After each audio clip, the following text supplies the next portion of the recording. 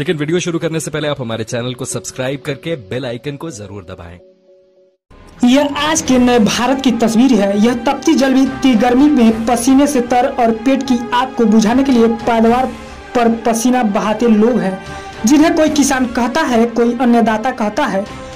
कई ऐसे लोग भी हैं जो इन्हें देख दूरी बनाते हैं और इनके छुए पानी तक को पीना नहीं चाहते हैं।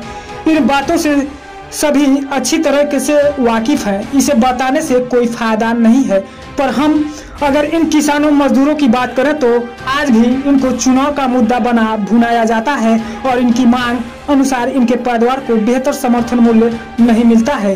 किसान देश के अंदर आज भी आत्महत्या करने को विवश है, पर यह तस्वीर डिजिटल इंडिया के उन जगह पर गाँव में बसने वाले भारत की तस्वीर उकेरता है और यह कहता नज़र आ रहा है। यह है असली इंडिया। आज यहाँ इस झुलसती दोपहरी में अन्नदाता खेतों में नहीं जलेगा तो कल इंटरनेट पर करोड़ों फूकने वाली पीढ़ियों के पेट का आग नहीं बुझेगी।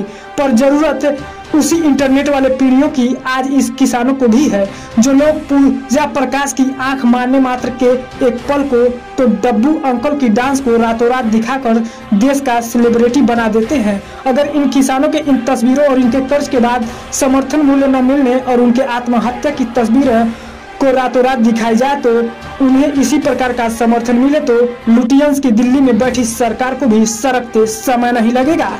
जनपद महाराजगंज से मोहम्मद जनपद महाराजगंज से अमनु कांदू की रिपोर्ट।